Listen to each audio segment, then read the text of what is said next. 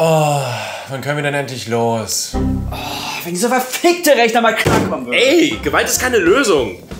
Was, wenn doch? Ja, geil. Jetzt muss ich nur hochladen.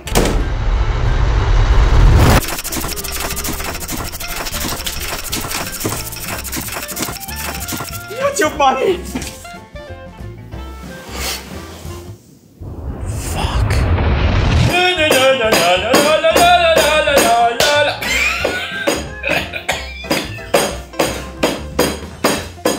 Alter, hier sieht's aus wie Scheiße. Mach doch mal einen Dreck weg, Marty. Ach so, mein Dreck. Na toll, jetzt tu mal nicht so, als wäre es ja alles meine Dreck.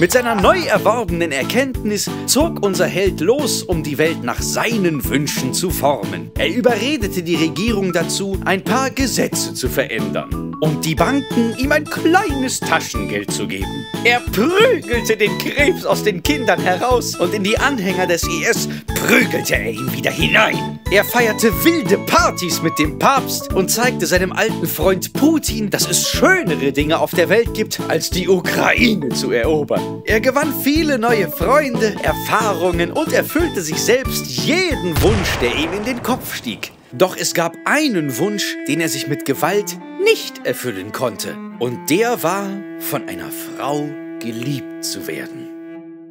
Wisst ihr, ich habe wirklich alles probiert. Ich habe sie geschlagen, ich habe sie getreten, ich habe ihr eine Kopfnuss verpasst, ich habe sie mit Steinen beworfen, ich habe ihr das Knie in den Uterus gerammt. Das Einzige, was ein bisschen Wirkung gezeigt hat, war der Nippeltwister. Tja, wie schon die großen Könige der Welt vor dir einsehen mussten. Egal wie sehr sie ihre Konditoren auch gefoltert haben, die Muffins haben nie nach Liebe geschmeckt. Ach, verdammte Liebe. Du kannst sie nicht kaufen, du kannst sie nicht mit Gewalt erzwingen. Ich meine, was soll man denn bitte sonst machen? Alter Rick, natürlich kriegst du keine Frau mit Gewalt, das ist doch klar. Aber wie dann? Naja, du musst ihr Herz erobern, sie zum Lachen bringen, ihre starke Schulter sein, an der sie sich anlehnen kann. Du musst sie verführen, ihr das Gefühl geben, dass sie etwas Besonderes ist, sie überraschen. Mit einem romantischen Dinner beim Kerzenschein. Ach Rick, hör doch mal einfach auf dein Herz. Du bringst mich da auf eine Idee. Jetzt bin ich schwul. Was? Dann habe ich doch endlich wieder was Sinnvolles zu tun. Die friedlichen Proteste sind vorbei. Quack. Und was lernen wir daraus, Kinder? Gewalt ist immer eine Lösung und Schwulsein eine Wahl.